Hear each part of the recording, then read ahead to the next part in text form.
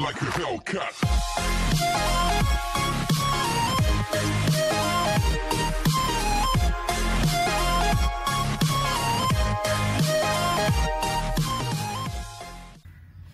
Hello friends, today our topic is differential amplifier. So basically DIBO means dual input balanced output. So this is the circuit of differential amplifier. You can note the inputs are VD, VD by 2 minus VD by 2.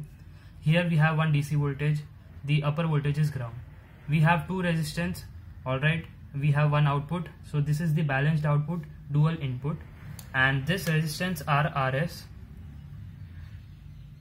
now in this video we will see how to find the DC analysis to get the value of IB, IC, GM and RPi.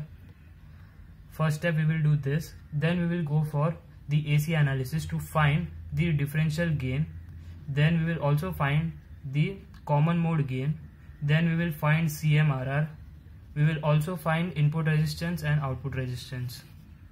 So let's start. Now the first point is DC analysis. So to do DC analysis, we will require the circuit. So let's see that. You can note that if we break this circuit from the middle, right, you can see that RC and RC are separated. So we can take this portion of the circuit because we have two BJT and we will require only one BJT to do the DC analysis. So let's take this portion. What will happen? See RC is different so we can use that directly Similarly, RS is different. We can use that directly. But when we talk about RE, there is a problem. So let's see that. So we have RS, we have RC, and this is ground. So there is no problem here. RC, RS we can use. This input is VD by 2. That also we can use. But here you have to note. If we break this circuit, then what will be the change here? See, we have voltage that is now this are so the voltage here is VEE right the voltage here is VBE okay the resistance here is a problem so let's see when we break this circuit we will have two resistance in parallel. Alright we have to understand that. If we break this RE we will get two resistance. For this circuit we will have one RE for this uh, for this circuit we will have one RE because we are breaking from the middle so we have two BJT we have two circuits. So what will be the value here? Suppose if I write twice of RE now they are in parallel right now. Alright now if we club them to 1 we will get RE and so is the resistance here so if we have to break this RE resistance it should have the value of 2 RE now why 2RE? Because we have one circuit at the left hand side, one circuit at the right hand side. Now if we combine them, both the separated circuit, if we combine that, we will get this circuit and this circuit has the value RE.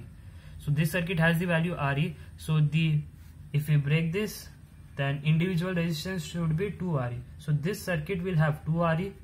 So let's say I have taken this circuit of the left hand side, so it will have 2RE. Similarly for the right hand side circuit, it will have 2RE. So the twice RE concept is clear. So this was the first step. Second step is to apply DC analysis. So to get the value of IB, we have to apply KVL in the base loop. Now you can note that the current flowing, I have one trick to find IB. Now basically you can apply KVL and find the answer. You have to note that this is the analog voltage. So while applying KVL, this voltage will not be present. So apply KVL, you will get the value. I have some trick, better way to do this. So what you can do is you, you need IB. I is always equal to V by R.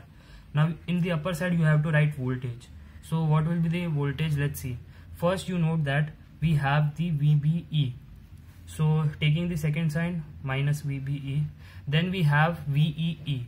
Taking the second sign plus VEE. So voltage part is clear. Now we have to write the resistance at the denominator. So in denominator we will have first resistance as RS. Right then we will go forward we will note that IE current flows here at the lower side with respect to twice RE so we will have twice RE but also we will have 1 plus beta factor because IE current is flowing and we are writing equation for IB so this 1 plus beta factor is because of that. So this is the value of IB after that it is very simple. IC is beta times IB right? Then we will have fourth point that is uh, r pi. R pi is vt by ib vt value is 26 into 10 raised to minus 3 upon ib then we will have gm gm is again ic by vt so, we are done with dc analysis. तो friends अगर आपको मेरी video पसंद आ रही हो then to like this video share with your friends and subscribe to my YouTube channel तो मिलते हैं अगली वीडियो में. Till then take care this is ट्रेनिक Jain peace out